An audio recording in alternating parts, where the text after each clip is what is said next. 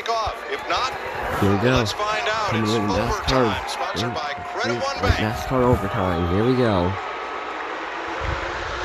Still inside. Green flag is back underway. Chase Briscoe hooked on to the six of Keselowski. Cindric gets down in front of Blaney, who's not yet in touch with him. Exactly, and Brad Keselowski waited. He backed up to Chase Briscoe, made sure they were Here locked come. on to make sure he got a big run at this. Fast freight coming on the outside track. Keselowski, Briscoe, Kyle Busch. His help's going to be a big push from the 23. Blaney's getting a push now. Both lanes getting a push. Here comes Blaney. Big push.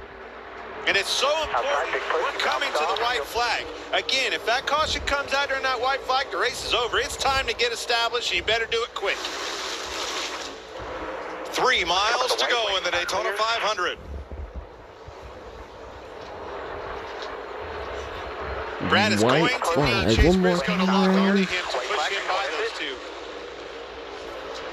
Keselowski had the run, but he's going to need Here the help. comes. Here it comes. Big push from Kyle Busch and from Chase Briscoe.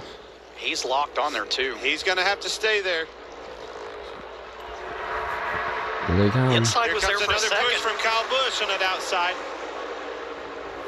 Even mirror. Cindric can't get too far Blaney's out. Coming to closer. turn three, where it all came undone last year on the Outside, final lap. outside.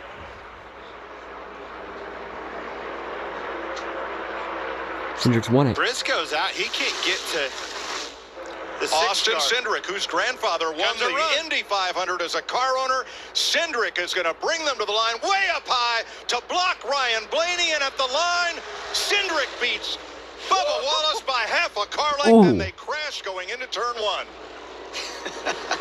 This race never disappoints. No, it does not. And David Reagan found one he couldn't miss. Austin Cindric, the winner of the Daytona 500. If you remember in the pre-race, he said a rookie and the two Holy cars never won. Holy cow's right, kid. You just won the biggest race of your life. No way. 23-year-old Austin Cindric Daytona 500! From Mooresville, North Carolina, in his No eighth way. Cup start, gives Roger Penske a happy birthday present. Oh my god. All we need to Bubba see Wallace this coming in finish. second right there. That was a huge run by him. I thought he was going to turn him. He was just out of time. There was so much stuff that happened that last lap. I mean, even midway down the backstretch, you didn't exactly know how this was going to shape up coming off before. All right, from the Goodyear blimp.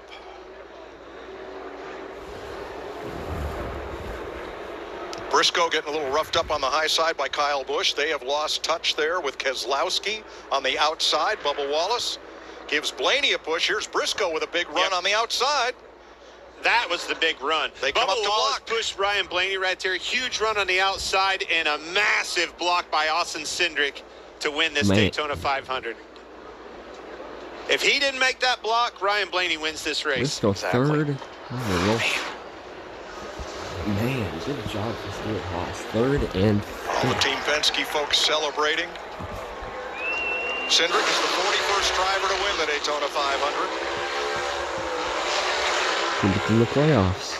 and the ninth to score his first career NASCAR Cup win in the Great American Race. Well, that's a start. Well, I hope you guys liked this video. You don't have to, and I'll see you guys in the next one. Good job for Cindric.